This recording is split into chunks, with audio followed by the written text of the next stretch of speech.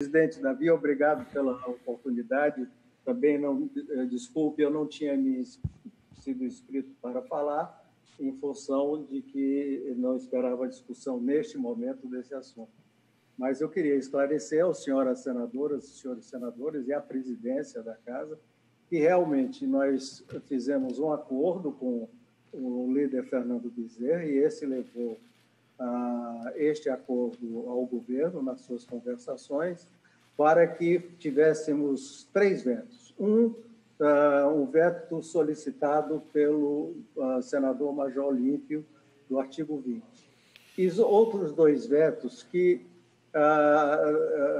eu, no momento, não achei absolutamente necessário, e o governo, através do ministro Rogério Marinho, convenceu-me de que ele uh, tinha possibilidade de ser melhorado quando, quando fosse feito o regulamento e que nós, do Senado, uh, parte do Congresso, participaríamos da regulamentação através da ANA e que isso seria feito e ele me deu sua palavra.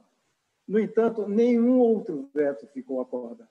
Nenhum outro veto. Foi para mim também extrema surpresa quando hoje, há pouco tempo, por sinal, recebi a notícia de que haviam 11 vetos ao projeto, que eu não esperava, fiquei profundamente surpreendido.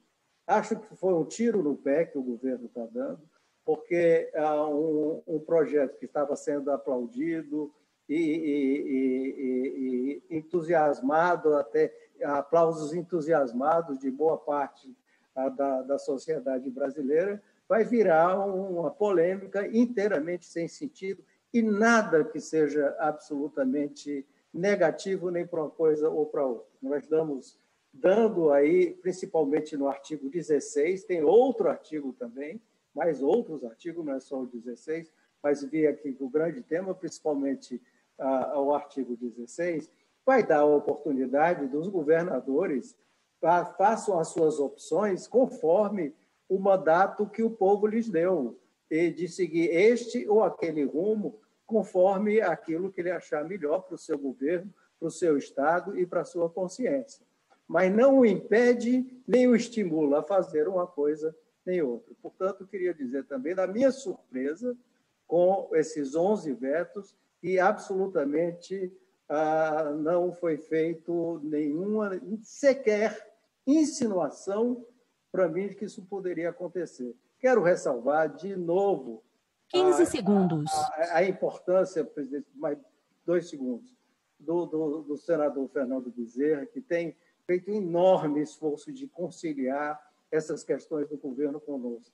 Sei, ele pode até dizer que não, que ele também foi pego de surpresa e está tentando, neste momento, uma solução que eu sei, da maneira dele, da maneira elegante, educada dele, com os ministros do governo para que esse veto uh, seja melhor pensado nesses próximos dias.